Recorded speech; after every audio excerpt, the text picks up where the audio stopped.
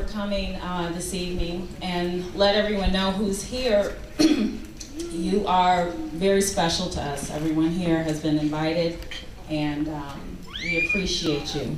If you're here, you are likely a reader, a subscriber, um, an advertiser, or a supporter. So thank you so much. Um, the other contingent of people um, who are here, there's the family, um, me and my sister Karima, and uh, the grandkids of Charles and Teresa Kelly at this table over here.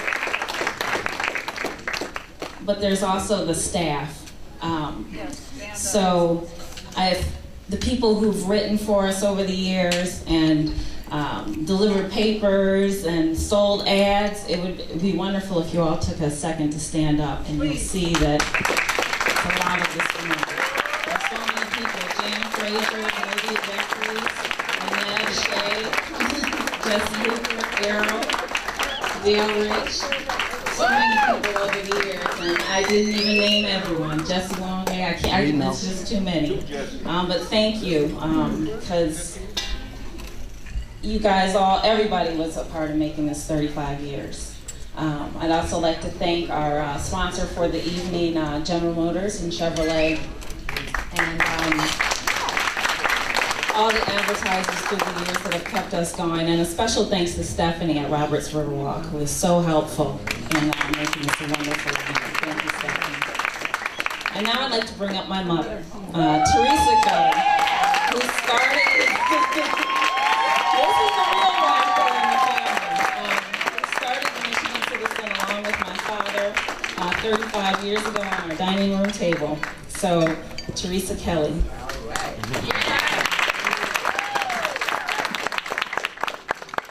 What they never say is that there was a leak on that dining room table. Every time it rained, the water would come down around the light fixture and hit that table. And when Karima was, she told me not to tell her age, when Karima was little and the paper was just starting, she said, it's raining on your business. so, um, as everybody knows, this is not my thing to grab a mic. So, uh, Actually, I've got four pages here. Hold on. What I want to do is thank people. I want to thank everybody, and I'll never thank everybody. It's an impossible task. Um, when we started the paper, um, Joel Thurtell was a writer for the South Bend Tribune, and he came and interviewed us and did it because it was a phenomenon for Benton Harbor to have a newspaper of its own. The Herald Palladium had fled across the river to uh, St. Joe, and uh, here was the uh, this small, struggling black paper, and um, he went on to the Free Press, but. Um, that, it, one thing he said to me was, and I had, it's a familiar quote, but it had never come across my way before, that the newspapers are the first draft of history. And that never left me. I always kept that. That the voices of all the people over the 35 years, that that was the most important thing about that paper, to get their voice out there for history. I'd like to thank tonight Chevrolet for holding, for hosting this for us. That, that's a big breakthrough for the Michigan Citizen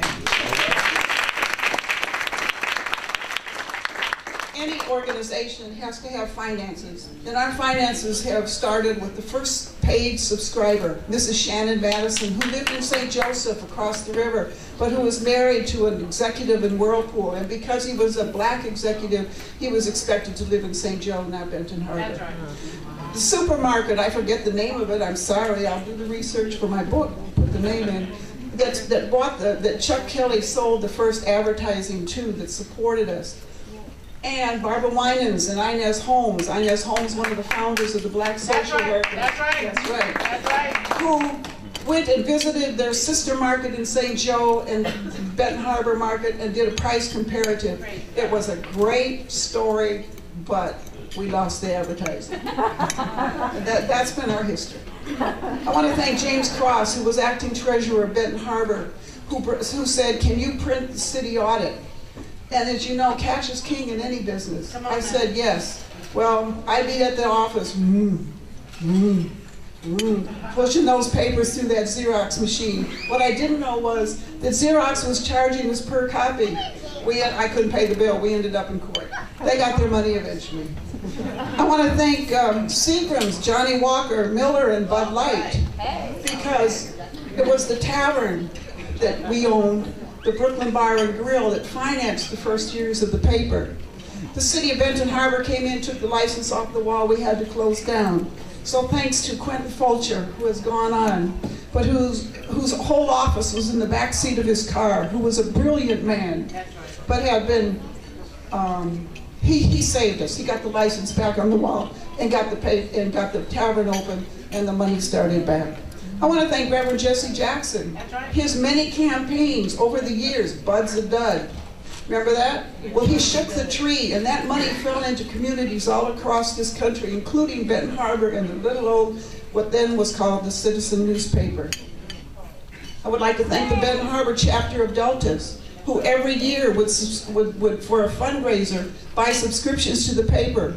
And part of the proceeds went to their coffers, but we, had, we got subscribers. I would like to thank Mayor Kwame Kilpatrick. All right. All right. Who bought over 100,000 copies of our paper he, because of the articles that were in it and paid to have them distributed around Detroit. Who purchased, who, who purchased from us, ordered from us a, a, a production of a paper pushing Detroit-based businesses, encouraging people at Christmas time to shop in Detroit. Right. Thank you, Mayor Kilpatrick. And it was not a criminal enterprise. That's right. Then there are all the advertisers, from the mom and pop stores, uh, from City Cab to MGM Grand, Michigan Lottery, Greektown, Motor City, McDonald's, YMCA, Home Depot, CVS, Meijer. They keep us going. But most of all, to the subscribers and the readers. That's, that's what we need. From back in the days when we first started in Benton Harbor, Bernice Brown came to us. She owes, she gets a big thank you. 16 years. She, she had been laid off from Ball Rubber. Benton Harbor's a big canning, fruit growing area. And she went to OIC. Reverend Leon Sullivan got her training, came to the Michigan Citizen. Bob Bell, who distributed the paper. Jesse Hooper, who distributed the paper. Warren Mitchell. Warren Mitchell, who got an opportunity to share the, the rich and glorious history of Benton Harbor for the first time. That's right. Happy Jack, who would clean our windows, and when he got too much of Mr. Kelly's products at the Brooklyn, would be directing traffic in the middle of Main Street, but also taught us about Ronald Reagan's crushing reforms. He had a 21-page form he had to fill out in order to stand in line and get cheese. And you all remember that cheese.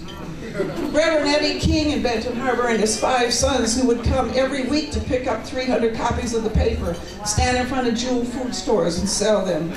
When we came to Highland Park, Mayor Robert Blackwell, who made us the official paper of Highland Park, his son Art Blackwell, Dr. Comer Heath, who welcomed us to the college, Chuck Gordon, the Men's Forum, Earl Wheeler, Titus McClary, Amina Omar, Chris Woodard.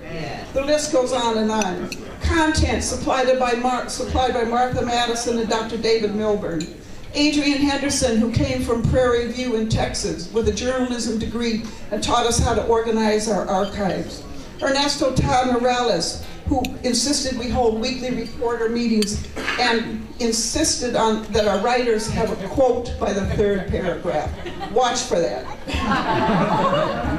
Kwasi Akwamu, Jesse Longbay, who Jesse Longbay, who's been writing with us since before he came to us.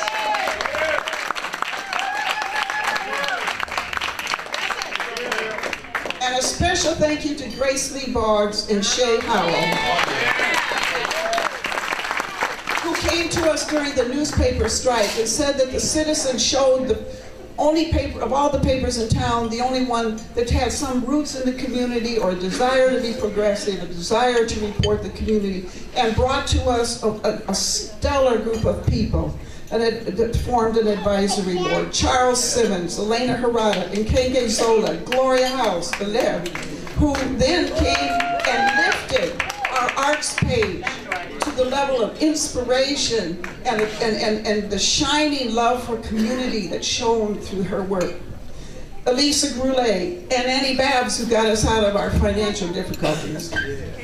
Brian Ambrosi, Brian Burry, David Sands all walked us through the technical technical problems of going from the old paste and cut to a um, technical digital uh, paper. And Charles Kelly had that vision. He would read all the printing magazines. He knew what was coming. He took our printer and made our printer go from paste up to digital copies. We had to leave Highland Park, unfortunately, because of the first emergency manager would not, um, would not in any way accommodate us. Had, we- they owed us a terrific amount of money for the advertising. All we wanted in exchange was a building, but we had no luck. So we came to Detroit. Kojo and Harriet Graham, the combination gave us the office on Bagley. Earl Earl Durham, he's here tonight. His devotion to the paper has just been stellar.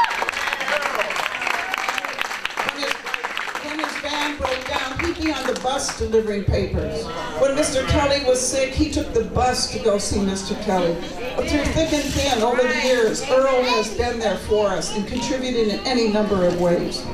Jesse Hooper, Gerald Hairston, Kari Frazier, Kim Meeks, Heidi Osgood, Nadir Omawali, Biba Adams in her hip hop columns, Kelly Dickens, who went on to uh, ABC, David Sands, Salah Ahmed, Alan Hogaba with their graphic design, getting the paper out every week, and Paul Lee, who did his masterful series on the rebellion, who, who has presented black history in the pages of our paper masterfully over the years. Ron Siegel, who added Graymark to the lexicon of Detroit. Diane Bukowski's series on Kingston Holiday.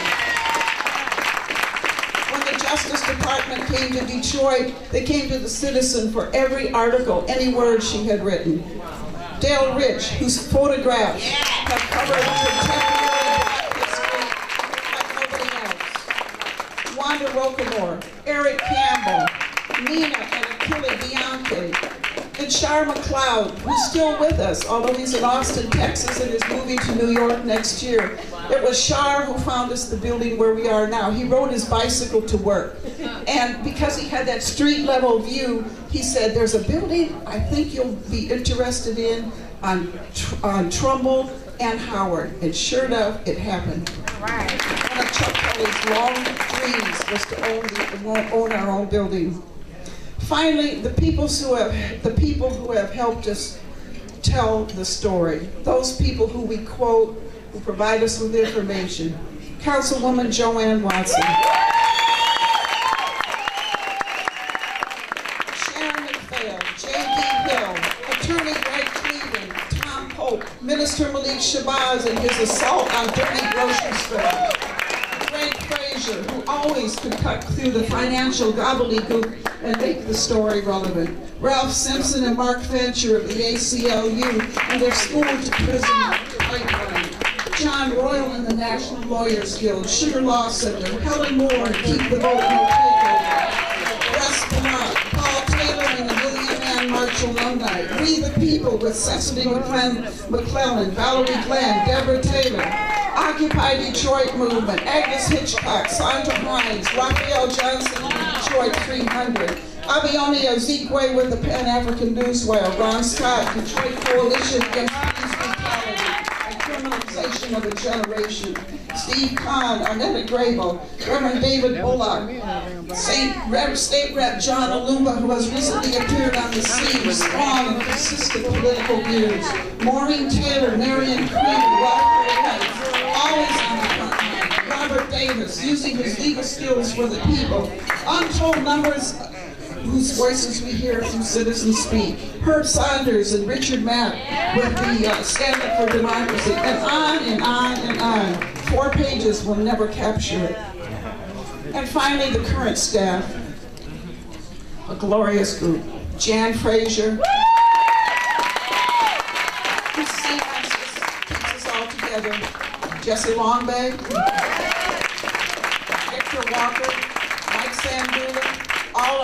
leadership of Zenobia Jeffries.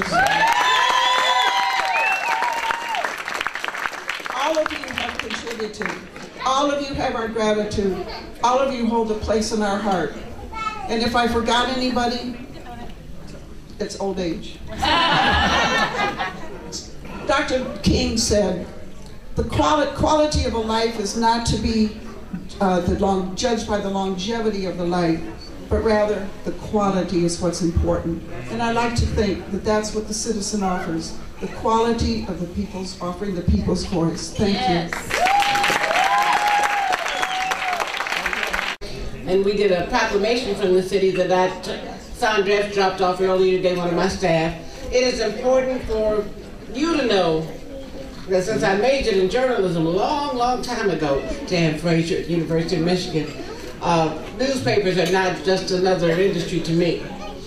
So when I first met Charles Kelly, my husband is from Benton Harbor, Michigan. So I was introduced to the Michigan Citizen when I was in Benton Harbor, Michigan, helping to found the first chap black chapter of the social workers there in Benton Harbor. We introduced Kwanzaa to Benton Harbor. Uh, we wrote uh, uh, a column in the, the racist Herald Palladium there. And low when, when the Michigan Citizen came up, when Charles Kelly came from Chicago to Benton Harbor to introduce it, we went crazy. We said, ah, the Lord. The Lord is smiling on Benton Harbor. So when Michigan Citizen moved to Detroit Highland Park, it was it was uh, absolutely breathtaking to see this progressive, statewide, black-owned paper with this magnificent woman, Teresa Kelly, Terry Kelly, Charles Kelly, who put their own family at risk in order to have a voice for the people. Statewide, everywhere black people were positioned in the state, there was a Michigan citizen from Benton Harbor to Muskegon to Flint, Detroit, Highland Park. Nobody has done what the Michigan citizen has done statewide. We owe much. Charles Kelly, when I left the NAACP and was working for John Conyers, he showed up unexpectedly. Look at Ch- little Charles Kelly. showed up unexpectedly at John Conyers' office and said, I need you at R.J. Watkins Station. Uh, Watson, you got a degree in journalism. In fact, Mr. Kelly convinced me, as busy as I was at the NAACP, to write a weekly column called On the Cutting Edge. Without being on time, I did that every week. So somebody, he said, needs to know what the NAACP director is doing. That's right. I did that for years and years. But Mr. Kelly came and plucked me out of Conyers' office and said, come follow me, and we're going to R.J. Watkins Station because he needs somebody with a journalism degree opening up broadcasting on that black-owned station in Highland Park. That's how I got to Wake Up Detroit on R.J. Watkins. It was Charles Kelly, Teresa Kelly. What you have done to strengthen our community, not just black folks, the entire state is better because of you. This nation is better because of you and your family's investment and commitment. I don't, if I had a thousand tongues, I could not thank you enough for what the Michigan citizen has done for the people of this state. Progressive, monumental, barrier-breaking, life-changing. God bless the Michigan citizen forever and ever and ever, and I thank you for what you've done for me.